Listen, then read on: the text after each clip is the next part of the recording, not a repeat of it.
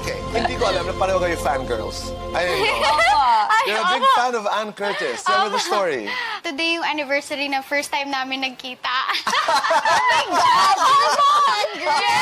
You were heartbroken dahil you missed uh, Sinadaya? Opo, hindi po ako nakapunta sa premiere night. Eh, ano po, umalis po yung mami ko. Nasa Japan po siya. So ako nag-aalaga sa mga kapatid ko. Mga two days, three days po ako nagluksa. Opo, opo. Tapos, um, so pinanood ko na lang po. Mag- Paano nagsimula ito? Ano, Babe, I Love You po. Um, mga 2010 po yun. I remember parang lost teenager ako noon.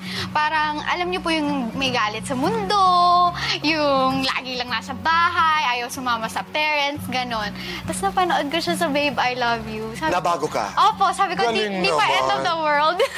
yun, so, Di ba? so yun po talaga. You're a huge K-pop fan, like many people. What happened? Opo. Nag-antay ka raw, you went to Seoul, and then what happened? Um, lagi po ako pupuntang Korea. And then, um, two years ago, um, nakapunta po ako sa MBC World. Tapos nakita ko, meron isang area doon na naghihintayan yung mga fans. Doon pala sila lumalabas. So, nandun po ako, ah, ano siya, negative 4 degrees Celsius.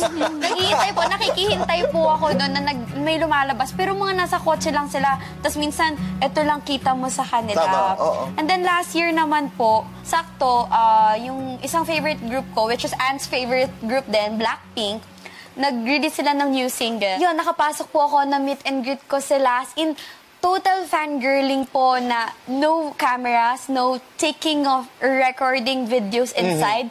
Pero ako po nakahang yung camera ko dito, naka-on siya. In-on ko siya.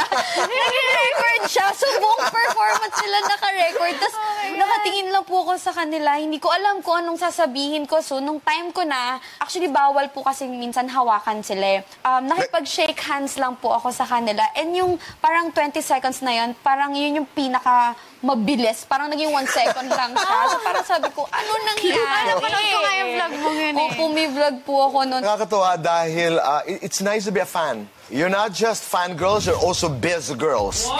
Negosyante rin eh. Di ba? Tonight with